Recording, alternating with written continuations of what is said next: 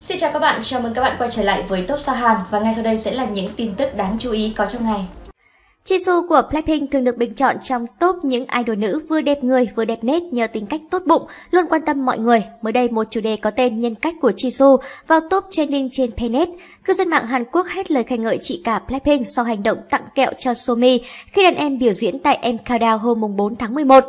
Để cổ vũ Somi trong đợt quảng bá Soso, Jisoo đã gửi một hộp kẹo thiết kế riêng in chữ Soso cùng chiếc kẹo đường khổng lồ màu đỏ đến trường quay. Somi viết trên Instagram, Chị Jisoo ơi, chị đã tiếp thêm năng lượng cho em đó, yêu chị lắm. Trả lời đàn em Jisoo đáp lại, Đại vương đáng yêu hãy ăn chiếc kẹo bự bự kia trước đi nhé, hãy nạp năng lượng để lên sân khấu như vũ bão nhé, Soso. Một số bình luận như sau.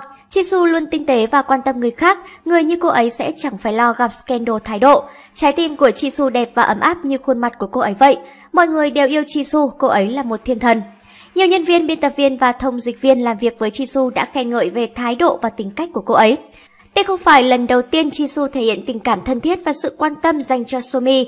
Trong đợt quay MV What You Waiting For của Somi hồi năm 2019, Jisoo đã đến trường quay động viên hậu bối. Hành động của Jisoo khiến Knet gọi cô là idol ấm áp nhất từng thấy.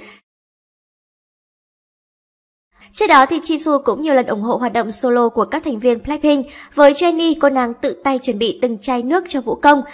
Với Rose, Jisoo cũng đặt riêng một chiếc kẹo có chữ A khổng lồ và nước uống để ủng hộ tinh thần của em.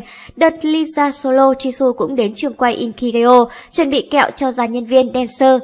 Nhiều người cho rằng chính vì tấm lòng tốt bụng luôn quan tâm tới các thành viên Blackpink lẫn đàn em cùng công ty, Jisoo đã chứng minh vì sao cô là idol nữ không bao giờ vướng tranh cãi nhân cách suốt 5 năm qua. Từ khi debut đến nay, Jisoo thường xuyên ghi điểm bởi năng lượng tích cực, tính cách thân thiện. Mỗi lần tham gia show, Jisoo cũng luôn là thành viên nhiệt tình nhất Blackpink. Cách cư xử của cô nàng đối với tiên bối, hậu bối, đồng nghiệp hay các nhân viên cũng rất được lòng fan. Sở hữu một gương mặt đẹp, tài năng, sự chăm chỉ, tấm lòng tốt bụng và tinh thần vui vẻ, Jisoo quả là một thần tượng hoàn hảo. Cảm ơn bạn đã theo dõi video trên kênh Tốt Sa Hàn và đừng quên ấn nút đăng ký kênh và chuông thông báo để nắm bắt những tin tức mới nhất có trong ngày nhé. Xin chào và hẹn gặp lại.